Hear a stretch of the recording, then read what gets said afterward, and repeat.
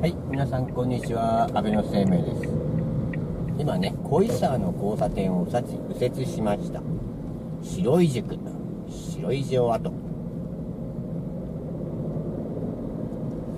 まあ、先週にね、引き続き、まあ、渋川市、旧鴨持村です。ここを左に上がっていくとね、まあ、白い温泉小持の湯。猫が横切りましたね。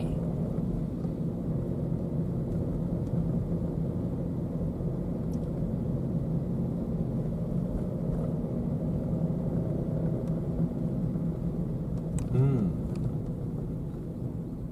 車を止める場所はあるかな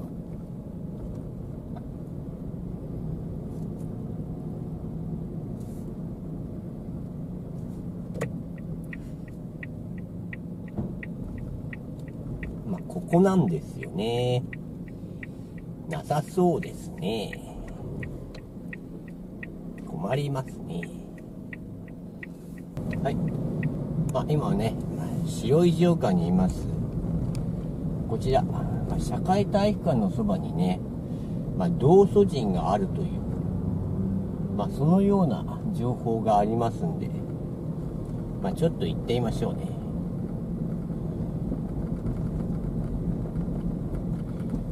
体育館の角。まあ、今ね、視野に入っているあの大きな建物が体育館です。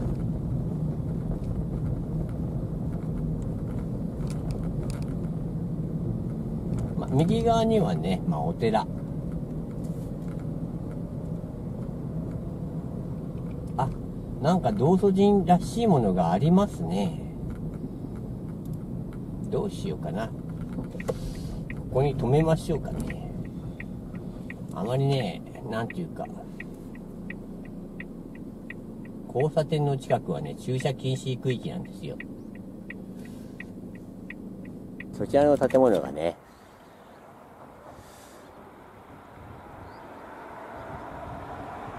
小持村。まあ、社会体育館ですね。でね、このね、まあ、石碑。まあ、完成10年の文字読めますかね？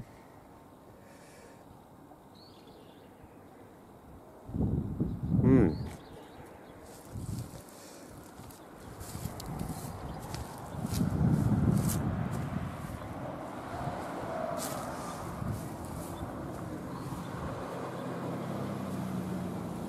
はい。文字塔ですね。道祖神。立派ですね。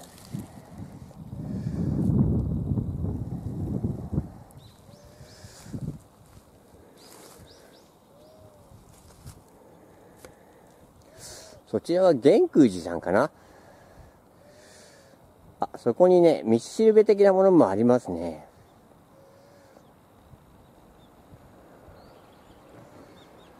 まあちょっと行ってみましょうかね。社会体育館はそちらです。やはりね、玄空寺さんですね。うん。玄空寺、白い城、北、白。まあ、城古跡っていうのかな。こちらはね、まあ、道標っていうか、まあ、今でいう住居表示でしょうね。白い城、北東構え。うん。あ、木戸口か。あ、そっかそっか。まあ、白い城のね、北、木戸の跡。そういうことですね。うん。じゃあ、玄空寺さん行ってみましょうかね。はい。玄空寺さんの駐車場ですよ。そうだな。どうせなら近いところが。はい。玄空寺さんの駐車場を出ますよ。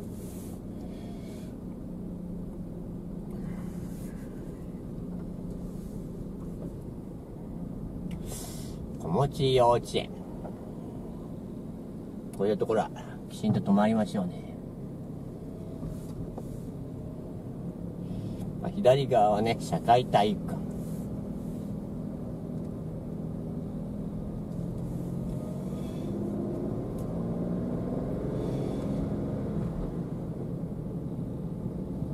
まあ、小持地区にもあれですよね。まあ、ゆるキャラ的なものがいらっしゃればいいのにね。まあ、こもちゃんとかね。小持地区のこもちゃん。どうしようかな。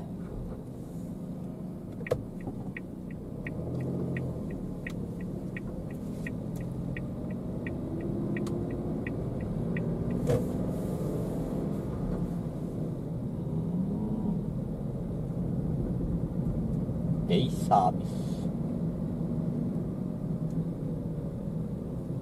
まあ利根川方向ですねそちらがね。えー、ゆっこ農場だって面白いね。ゆっこさん。老人クラブ。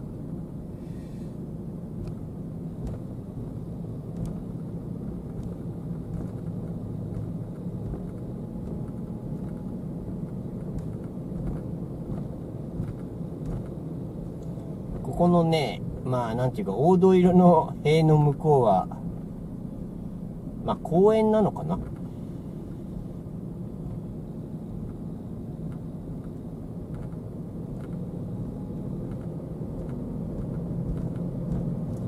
しね、ここの左側はね、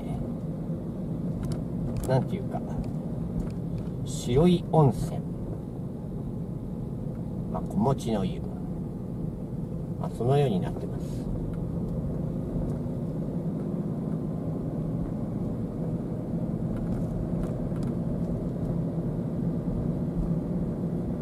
温泉入って温まってもいいかなって一瞬思ったんですけど、まあ、こちらのベイシアさんで、まあ、お買い物をして帰りましょうかな。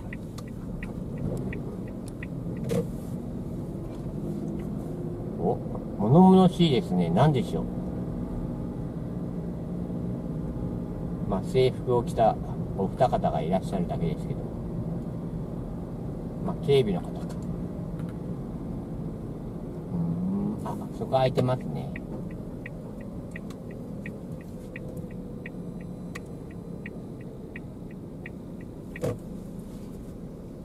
はい。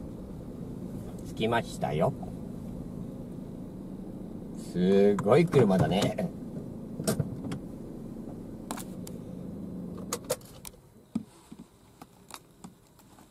はい。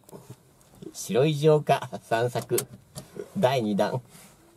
ご視聴ありがとうございました。